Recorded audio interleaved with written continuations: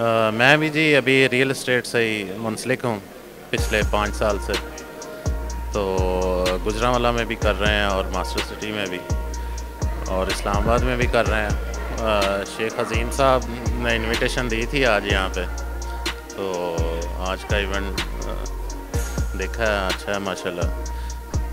और capital smart city already Islamabad में भी कर रहे हैं प्रोजेक्ट अपना।